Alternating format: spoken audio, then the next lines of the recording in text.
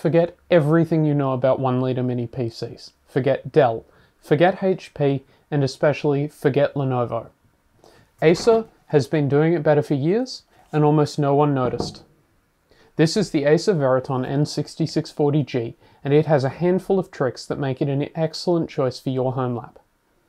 In the interest of getting straight to the most important part, it has a full PCIe by 16 slot, which is something we don't often see on systems like this. This is especially interesting because if you want an affordable mini PC with a PCIe slot, you'd be looking at the handful of Lenovo models that include one internally, like the M910X and the M720Q, and they're not bad. They are, however, rather limited with significant size and thermal constraints. You miss out on the SATA connector for extra storage, and the cards you can install are limited by the size of the case, as the major components like the CPU cooler get in the way of installing a full height card. There's also the challenge of keeping the cards cool, although as many people do, you could just cut a hole in the top of the case.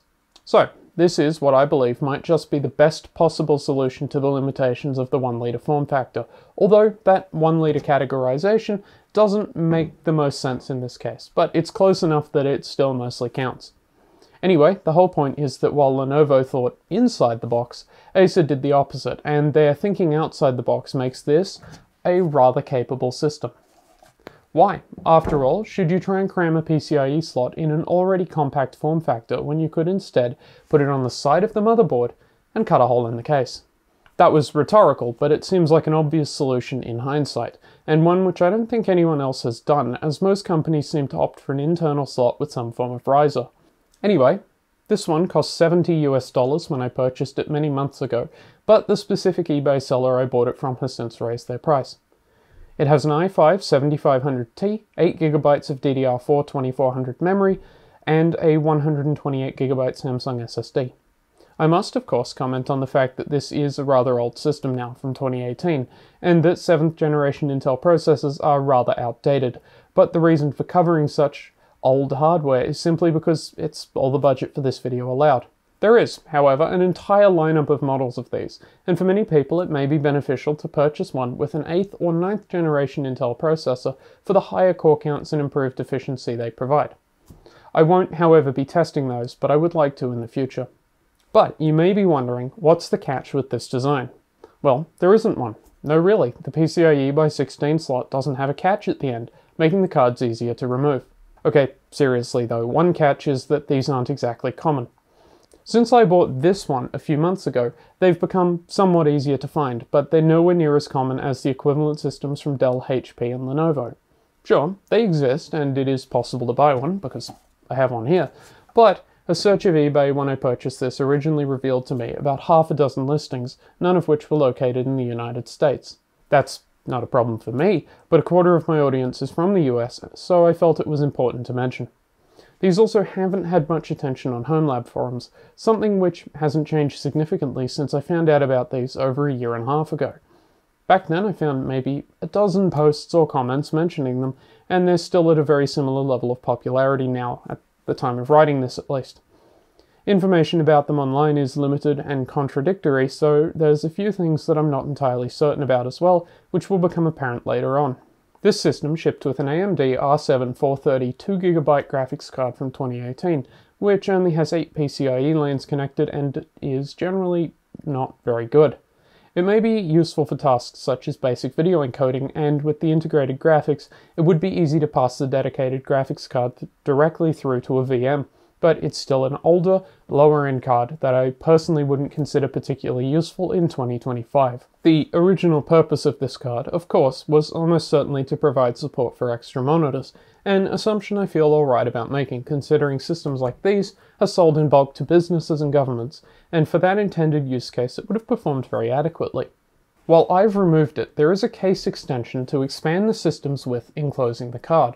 This case expansion does only house a single half-height slot, but without the case you can install pretty much anything, and could modify the case expansion by cutting it to support a taller or thicker card. Anyway, the hardware itself is for the most part fairly conventional, but we will still go over all of it. We've got an Intel Socket 1151 supporting 6th and 7th generation processors, although whether it supports 65 watt processors is unclear from the information I could actually find online, and I don't have one available to me to actually test that. Certainly, newer models were sold with 65 watt processors, but I don't know if the N6640G does support them. In terms of the rest of the hardware, there's two DDR4 SODIMM slots, an M.2 M key slot for NVMe SSDs, and an M.2 E key slot with the all-important PCIe support. On the front of the system, we find a microphone jack, headphone jack, and three USB 3.0 ports. On the rear, we find DisplayPort, VGA, three more USB 3.0 ports, a gigabit NIC, headset combo jack, space for an optional extra port, in this case DisplayPort, and a barrel jack for power. There is no USB-C anywhere on this system, which may be important to some, but it does appear on newer versions of these systems, which are worth considering for the newer processors, although I haven't personally tested those. The heatsink design of this system is interesting, and in my opinion may be more complicated than necessary. Instead of putting the processor in the rear of the motherboard with the fan in front of it, the processor is at the front of the board, making this setup with a heat pipe to reach a copper heatsink in the rear necessary. A good bit of thermal design I found is the three thermal pads underneath the motherboard, which should transfer some heat from the components they touch on the back of the board into the case. Also, in an absolutely baffling design decision, the CMOS battery is located under this rear section of the heatsink, meaning you absolutely have to remove the fan and the entire heatsink to access it. Yes, that's an entire 8 screws to access the battery, which might genuinely be the worst CMOS battery placement I've ever seen, so bad that I honestly find it funny. And yes, you would have to repaste the processor. And no, you can't remove the heatsink without removing the fan because the fan blocks two of the heatsink screws and the standoff for the third fan screw is attached to the motherboard. Truly a strange and poorly thought out design. In terms of ease of disassembling this system, compared to other mini PCs I've worked with, this one isn't amazing. To remove the motherboard, you start by removing the graphics card, and then removing the metal case extension that houses the graphics card, and then remove the front piece of the case that covers the I.O., and then remove the fan, then the heatsink, and finally the board can be unscrewed and removed. It doesn't lift upwards nicely though, I found it had to be lifted up slightly and slid forwards out of the case to avoid damaging the board. It's not all bad though. The M.2 SSD slot features a toolless clip instead of a screw and a standoff and has two locations for it, also supporting shorter 2242 SSDs, although I'm not sure how useful that would be, but maybe there's some non-SSD add-in card you can install that I haven't thought of. The build quality of the case itself is generally acceptable, although the fit of the case panels isn't particularly good. On its own, the top of the case fits well and is easy to install and remove, but with the GPU expansion installed, the edge of the top cover gets stuck between the case and the expansion, requiring quite a bit more force than expected to remove.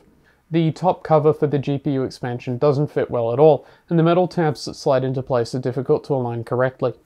I do have some concerns about the rigidity of the expansion case, as it is only held on with four small screws and has quite a lot of flex when attached to the system. It is significantly worse with the top cover removed, but even with it installed, it's clear that the side of the main system's case which the extension screws into is not rigid enough. Anyway, other than these minor build quality issues, in effectively every major way, including price, these Acer 1-litre mini PCs are on par with models from the three other major brands, making the entire reason to choose this system, at least for me, the PCIe slot. Certainly when I bought this, I had expected the slot to be locked down in some way, maybe restricted to specific cards or otherwise non-standard, because that's a thing that has happened before with some systems, but it seems to be perfectly normal. What then can we do with the PCIe slot? Well, firstly, single slot half-height graphics cards do exist, and it did come with one which isn't very good, but modern ones could potentially be a good upgrade for this system, although I haven't tested them. I wouldn't personally use this as a gaming system, but it is probably possible. In terms of the expansion case for the graphics card, it may be beneficial to modify it in some way to improve ventilation through the top, as although there are holes in the side of the case, that's not where the fan, at least on the stock graphics card, is pulling air from. Another suggestion may be to install one or multiple small fans to pull air through these holes in the side. What I'm really interested in though is how this can be used in a home lab. The first thing I tried was this Intel X540T2 10GB NIC, but unfortunately it doesn't work and would freeze the system during the post sequence. The problem here is almost certainly something to do with it being a HPE flexible LOM card with an adapter, because every other PCIe card I tested worked fine, and these are known to have compatibility issues with some motherboards. I did try covering the SM bus pins with some tape, but that didn't fix the issue, and I just ran out of time to find a real solution. While I can't be certain, I suspect the issue is related to the card, not the system. On the PCIe card situation though, every other card I tested functioned fine, with one major exception. Meaning I have no doubt a more conventional 10 gigabit NIC would work fine, but keep in mind that you may run into compatibility issues with cards intended for servers, just like I did with this one. That's not to say there won't be 10 gigabit NICs which work, but that I don't personally know which ones will because I've only tested this one. Being a mini PC, you're quite limited for storage, but that PCIe slot can be used for things other than networking and graphics as well, such as this SAS HBA. This could potentially be used for some of the custom DAS enclosures I've been seeing on various forums, and would serve as an excellent replacement for the M.2 M-Key SATA cards that some people use, which have significant reliability issues. That is to say, it's a more reliable solution to actually connecting storage to a mini PC, even though the system itself doesn't really provide any space for that storage internally. What you lose, however, when using a is the potential for higher speed networking since there's only one PCIe slot, but a possible solution to these is the fairly cheap Realtek gigabit and 2.5 gigabit cards that can be installed in the M.2 E key slot and screwed into the back of the case where the extra DisplayPort was previously installed.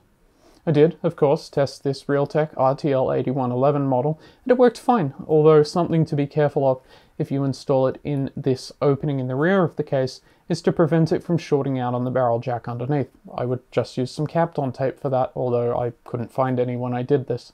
That exception to compatible PCIe cards that I mentioned earlier is then an RTX 3070.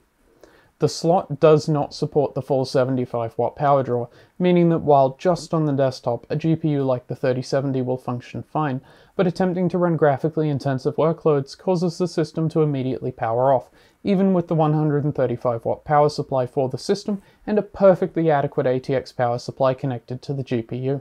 Although I completely expected this outcome, I did test it anyway because I wanted to be sure.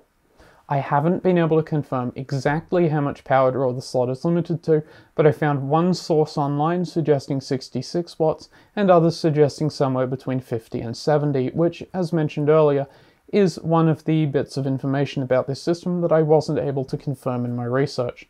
The original AMD graphics card should only draw about 50 watts of power, and newer cards do exist which can draw less than 75 watts from the slot, but most graphics cards, while technically compatible, won't really be usable. Network cards and HBAs, however, won't ever get anywhere near close to this maximum power draw, and there are more modern graphics cards that should work fine, at least in terms of power draw. These limitations, while significant and important to keep in mind, don't present much of an issue for home lab use cases, which is what I'm interested in anyway. What I find to be important is not just specifications or raw performance, but upgradability and customizability, and I think this meets my expectations rather well. Something to keep in mind is that many of these systems shipped without either expansion, but as far as I've been able to find, they all still have the PCIe slot and just have a cover on this side. The easiest way to be sure you're getting it is to purchase one that is advertised as having the graphics card expansion, as if it has a discrete GPU, it must therefore have the slot. That is, of course, only applicable to buying used. So, are there any major limitations or notable issues? Well, hardware-wise, there's nothing major. It does, however, lack a second M.2 slot for SSDs, which is something you'd expect to find on a newer system. Also, 7th generation Intel processors are rather old now, and in spite of their affordability, newer systems with newer processors offer better performance and efficiency for the money. There is also the PCIe card size limitation if you're trying to keep it within the case expansion. Removing the case expansion removes most of the support for the card, which could prevent potential risk of damaging the card or the slot on the motherboard. For a taller but single slot card, you could always just leave the top cover of the expansion off, but for a card with a thicker heatsink, some modification to the case may be necessary using a tool like a Dremel. Still, the potential for modification is there, unlike with the Lenovo's, where installing a full height card inside the case is effectively impossible without using a PCIe riser cable, and then it wouldn't fit inside the case anyway. So yes, it's not a perfect solution to the PCIe card size problem. The expansion isn't perfect. As far as the 1 litre mini PCs that I personally own, I'd say this case is built better than the Dell Wyse 5070 thin client, but worse than the HP ProDesk Mini. And as discussed earlier, it has some build quality concerns, specifically the flexing of the case expansion. Also, it's not really 1 litre, in spite of the general use of that as a category of mini PCs. Without the PCIe expansion, the Acer is roughly one and a quarter litres, and with the expansion, it's slightly less than one and a half litres. The most significant problem, however, is the relative lack of availability of these systems on sites such as eBay, at least compared to other models from Dell, HP, and Lenovo.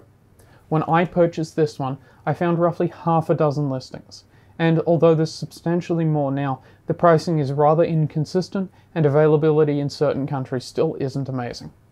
Also, it absolutely will not fit in a 10 inch rack with the PCIe expansion installed.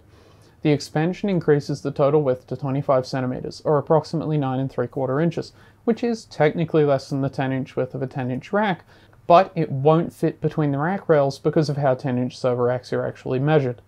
Certainly, that is a disappointment for me because I now have two 10 inch server racks, but it's still a good system and those upsides, a full-size PCIe by 16 slot, make up for the downsides in my opinion.